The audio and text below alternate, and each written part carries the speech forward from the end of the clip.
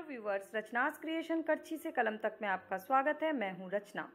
Vegetarian group की recipe में सबसे टेस्टी और सबसे अच्छी रेसिपी कहलाती है कटहल की सब्ज़ी।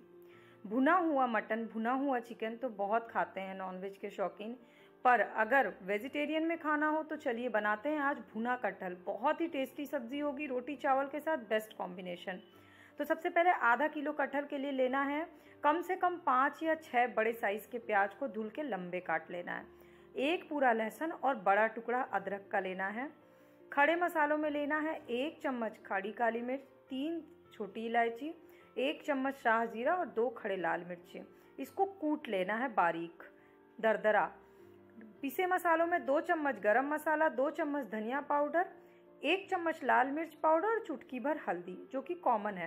अब कटहल जब भी बनाते हैं तो कुकर में बनाते हैं, क्योंकि कटहल को गलने में लगता है समय तो कुकर चढ़ा दिया।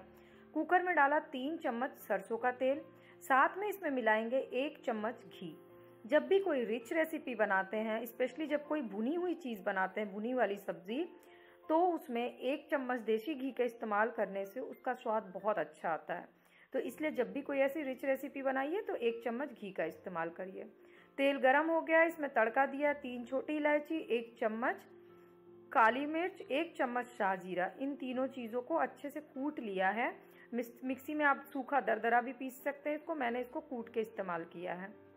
दो खड़ी लाल मिर्च। तो ये जो शाहजीरा है ना शाहजीरा किसी भी भुनी हुई रेसिपी का स्वाद बहुत बढ़ाता है।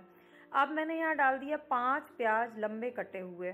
आधा किलो कटहल के लिए प्याज लगेगा पाँच, कम से कम बड़े साइज़ का, क्योंकि यहाँ पर हम पानी का इस्तेमाल कम करने वाले हैं और कुकर में बना रहे हैं तो पानी चाहिए। तो प्याज का जो पानी छोड़ता है, उसी से ये कटहल भुनाता है। इसलिए प्याज की मात्रा ज़्यादा होती है। जिस तरह की नॉनवेज में मटन में बनाते समय प्याज की मात्रा ज़्यादा होती है। अब इसमें डाल दिया एक पूरा लहसुन और अदरक का टुकड़ा पीस करके या कूट करके जिस तरह से भी आप इस्तेमाल करना चाहें। मसाले वही कॉमन जो आपके पास होंगे, दो चम्मच गरम मसाला पाउडर दो चम्मच धनिया पाउडर एक चम्मच लाल मिर्च पाउडर और चुटकी भर हल्दी। लाल मिर्च पाउडर एक चम्मच इसलिए क्योंकि खड़ा लाल मिर्च का भी इस्तेमाल किया और कुटी हुई काली मिर्च का भी। नमक, एक से डेढ़ चम्मच नमक। अब इसको अच्छे से मिक्स कर लिया है। फ्लेम को मीडियम रखना है। ताकि प्याज जो है वो पानी छोड़ सके। मीडियम से भी ज़्यादा अच्छा होगा अगर आप इसको एकदम धीमे आँच पे भूनते हैं। थोड़ा सा टाइम ज़्यादा लगता है बनने में, लेकिन ये बहुत ही टेस्टी सब्ज़ी होती है। अब इसमें कटहल जो है, वो कटहल को धुल करके, गर्म पानी से धुल करके इसमें डाल दिया है कटहल। आधा किलो कटहल है छोटे छोटे टुकड़ों में कटा हुआ।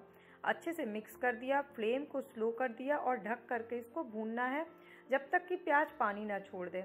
प्याज जब पानी छोड़ेगा तो ही मसाले भून पाएँगे और कटहल उसी के बेस से गलता है। तो इसको बड़े अच्छे से इसको आपको पाँच पाँच सात सात मिनट पे चलाना है। बहुत ज़्यादा बार बार चलाने की ज़रूरत नहीं है, क्योंकि स्लो फ्लेम पर कटहल को भूनना है। तो भुने हुए कटहल की दूसरी सबसे अच्छी चीज़ क्या है कि इसमें अगर आप दही का इस्तेमाल करते हैं, मैंने यहाँ पे इस्तेमाल किया आधा कटोरी दही। नॉर्मल दही, ना खट्टी, ना मीठी, नॉर्मल दही जो होती है, वो मैंने इस्तेमाल किया अगर इस समय आपके पास दही अवेलेबल नहीं है तो आप दो टमाटर का पेस्ट करके इसमें डाल सकते हैं। हालाँकि दही ज़्यादा अच्छा स्वाद देती है बट अगर दही नहीं है तो तो टमाटर का इस्तेमाल कर लें।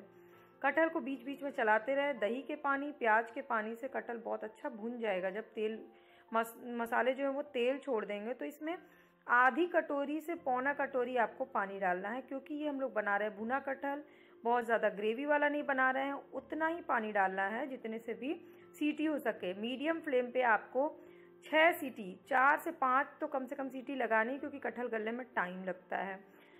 इस तरह से धनिया पत्ती से गार्निशिंग करके सर्व करिए। रेसिपी अच्छी लगी होगी तो प्लीज़ लाइक कमेंट और शेयर करिएगा। और और भी वीडियोस से अपडेट रहना हो तो सब्सक्राइब और फॉलो बटन दबा लीजिए। Free of